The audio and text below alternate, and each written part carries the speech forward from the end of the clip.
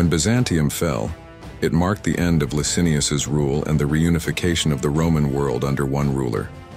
For nearly four decades, the Roman Empire had been divided, with multiple emperors ruling at different times, each with varying degrees of success. Constantine, who emerged victorious through a combination of administrative skill, diplomacy, and military prowess, left a lasting impact on history. His practical abilities left a deeper mark than many conquerors and legislators of greater genius. Like Augustus and Frederick the Great, Constantine possessed a self-reliant, focused, and unsentimental mind.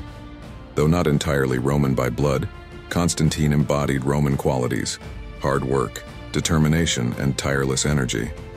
However, he didn't share the Roman sentimental attachment to the city of Rome itself. He was born near the Danube, raised in different parts of the empire, and viewed Italy as just one of his provinces. When Constantine divided his empire among his heirs, he gave Gaul, not Italy, to his eldest and most beloved son.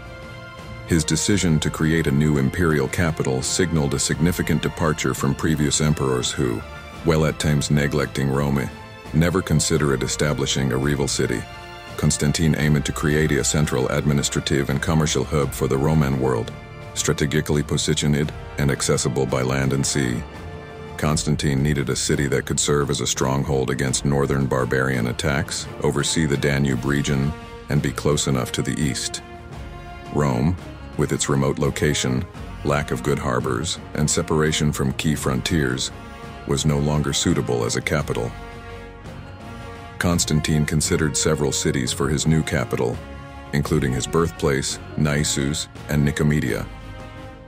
However, he chose Byzantium, a city he knew well, having spent months camped outside its walls. Byzantium was strategically located, well fortified, and offered the advantages he sought. Constantine meticulously planned his new capital's layout.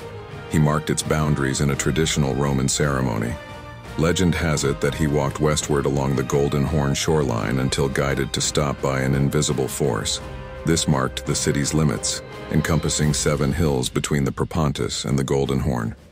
The heart of the new Constantinople included the Imperial Palace, the Augustaeum, a grand forum, the Senate House, the Patriarch's Palace, and the Hippodrome for chariot races. Additionally, the city featured the Church of the Holy Wisdom, Hagia Sophia, and other notable buildings, granaries along the quays, and the Golden Gate. Constantine invited senators, wealthy landowners, bureaucrats, artisans, and merchants to populate his new capital. He granted them privileges to attract immigrants and he continued the Roman tradition of providing free corn to the populace. The city, initially named New Rome, was ultimately known as Constantinople a name that endured through history.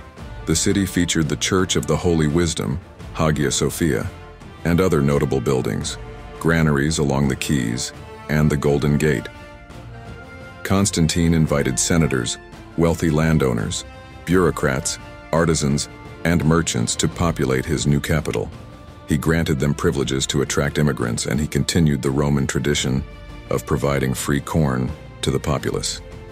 The city, initially named New Rome, was ultimately known as Constantinople, a name that endured through history